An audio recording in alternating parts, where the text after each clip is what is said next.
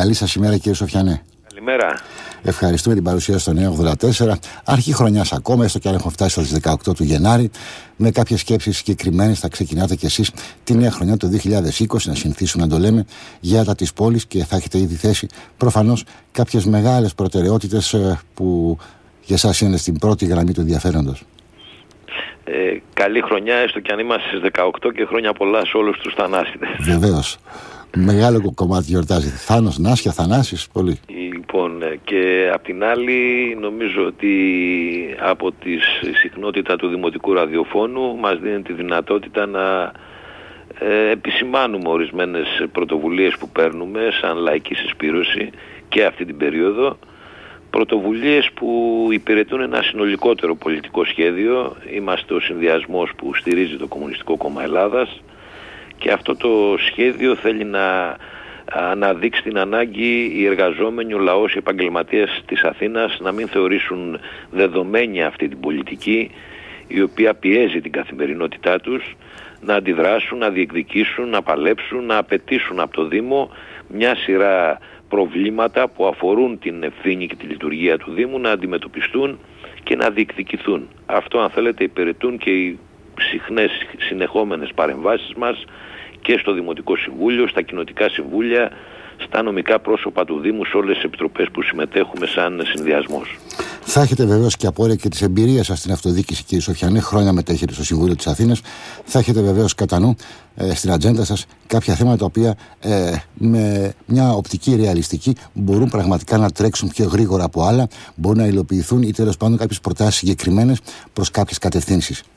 Ναι, ε, και πρώτα απ' όλα στο κέντρο της δικής μας προσοχής βρίσκεται η ανάγκη ο Δήμος της Αθήνας ε, να μην ε, συμβάλλει σε αυτήν την διευρυμένη φορολιστία των Αθηναίων γιατί επιδεινώνεται η κατάσταση, η φτώχεια είναι εδώ, η πίεση στο εισόδημα είναι εδώ, οι κατασχέσεις λογαριασμών, οι δημεύσεις λογαριασμών για χρέη και στους Δήμους είναι μια καθημερινότητα που αγγίζει ένα λαιλατημένο εισόδημα των Αθηναίων και αυτά τα ζητήματα βρίσκονται σταθερά στο κέντρο της προσοχής μας μαζί με τα προβλήματα που αφορούν την ευθύνη του Δήμου σε μια μεγάλη γκάμα λειτουργιών. Ξεκινάμε από τα σχολεία γιατί είναι δική μας ιεράρχηση η αντιμετώπιση των σοβαρών ε, προβλημάτων υποδομής που έχουν δεκάδες σχολικά συγκροτήματα στην Αθήνα μαζί με την ε, προβληματική λειτουργία. Είμαστε στο, στην αρχή του 2020 και δεν έχουν αποδοθεί σχολικές επιτροπές του Δήμου της Αθήνας που διαχειρίζονται την καθημερινότητα των σχολείων τα χρήματα της ε, τρίτης και της τέταρτης δόσης του 2019 όλα αυτά δημιουργούν αυτό σημαίνει, δυσλειτου... αν μου αυτό σημαίνει δυσλειτουργία στο... στην καθημερινότητα των σχολείων. Φοβερές δυσλειτουργίες στην καθημερινότητα των σχολείων με τους γονείς να βάζουν συνεχώς το χέρι στην τσέπη και παράλληλα με μια προβληματική υποδομή από τις αρχές αυτής της ε, περίοδου, αυτής της περίοδου της διοίκησης του κ. Μπακογιάννη στο Δημοτικό Συμβούλιο έχουμε αναδείξει πάνω από 15 προβλήματα κτηριακών, σοβαρών κτηριακών υποδομών σε δημοτικά ε, λύκεια, γυμνάσια και τεχνικά λύκεια της, ε, της Αθήνας τα οποία χρήζουν άμεσα αντιμετώπισης. Σε κάποιες περιπτώσεις έγιναν όμως επεμβάσεις.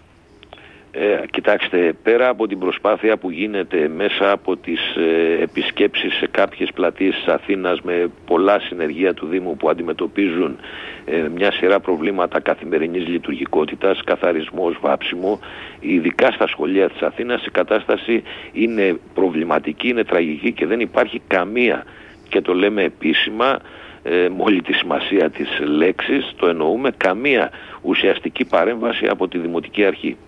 Και στο πρόσφατο Δημοτικό Συμβούλιο, κύριε Σοφιανέ, είχατε θέσει και μια σειρά από θέματα. Αναφερθήκατε για τα θέματα που αφορούν τους χειροτέχνες. Αναφερθήκατε στο Σωματείο Ρακοσυλλεκτών Πρόοδος και έχετε ζητήσει να γίνει μια οργανωμένη συζήτηση για την χωροθέτηση. Και βέβαια. Ναι, παρακαλώ. Ναι, είναι τα προβλήματα που αντιμετωπίζουν οι επαγγελματίες σε αυτές τις κατηγορίες, στους χειροτέχνες και στους δρακοσυλλέκτες. Δεν είναι καινούρια, ε, δεν οφείλονται αν θέλετε στη σημερινή δημοτική αρχή. Υλοποιείται μια κεντρικότερη πολιτική που οι Δήμοι και η, η προηγούμενη πλειοψηφία και η σημερινή την υλοποιούν κατά γράμμα. Και αυτό αφορά την, ε, τον αγώνα επιβίωσης που δίνουν οι χειροτέχνες εκατοντάδες ε, επαγγελματίες που απασχολούνται με αυτό αλλά και οι ρακοσυλλέκτες ε, να σας θυμίσω, μάλλον να, ή να ενημερώσουμε όσους δεν το ξέρουν, ότι στην Αθήνα έχουμε εδώ και χρόνια μια προβληματική και παραβατική λειτουργία όσον αφορά τους, το παζάρι των ρακοσυλλεκτών στην ευρύτερη περιοχή του Βοτανικού μια κατάσταση η οποία πρέπει να αντιμετωπιστεί με τη δημιουργία ενός σύγχρονου παζαριού ρακοσυλλεκτών στην Αθήνα με ευθύνη του Δήμου και με προσπάθεια συνεννόησης με όλες τις συλλογικότητες και ειδικά με τα σωματεία των ρακοσυλλεκτών αλλά και των χειροτεχνών.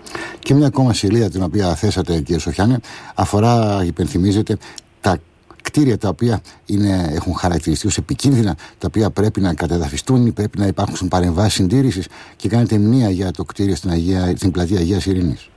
Ε, θα σας ε, θυμίσω πάλι ότι συζητάμε για τα εγκατελειμμένα, για περίπου 2.000 εγκατελειμμένα κτίρια ε, σε συνθήκες ε, προβληματικές και για την ασφάλεια των, του κόσμου αλλά και των περιοικών και συζητάμε για αυτά όταν πέφτει κάποιο κτίριο. Ε, αυτή τη στιγμή υπάρχει ε, ψηφισμένη εργολαβία του Δήμου της Αθήνας από το προηγούμενο καλοκαίρι, από το καλοκαίρι, για να γκρεμιστούν 12 ε, εγκατελειμμένα κτίρια που είναι στη φάση κατεδάφισης και αυτή έχει παγώσει.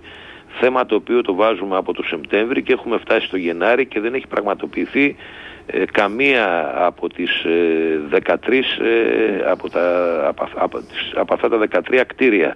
Είναι ένα θέμα το οποίο αφορά αν θέλετε την ποιότητα ζωής γιατί δίνει τη δυνατότητα να απελευθερωθούν χώροι από μια Αθήνα η οποία είναι κυριολεκτικά πνιγμένη στον πετό με, με ελάχιστους χώρους και απ' την άλλη φαίνεται και μια αντίφαση απ' τη μια εργολαβίες για συγκεκριμένες κατεδαφίσεις δεν προχωρούν ενώ τρέχει η Δημοτική Αρχή και αποκλεί ουσιαστικά ολόκληρη, μια ολόκληρη περιοχή στην Αγία Ειρήνη αφήνοντας στην εγκατάλειψη ένα κτίριο του 19ου αιώνα, για τέτοιο κτίριο μιλάμε, το οποίο ουσιαστικά ένα μέρος του κατέπεσε ε, και δεν αντιμετωπίζεται η ανάγκη και, και, για την προστασία, αν θέλετε, της πολιτιστικής κληρονομιάς αυτής της πόλης. Τέτοια περίπτωση είναι το κτίριο στην Αγία Ειρήνη. Βέβαια, καλή κύριε Σοφιανέ, με τα δεδομένα που γνωρίζουμε όλοι, ε, αντιλαμβάνεται ότι είναι μια πολύ σύνθετη πραγματικότητα σε ένα πολύ σύνθετο κόσμο.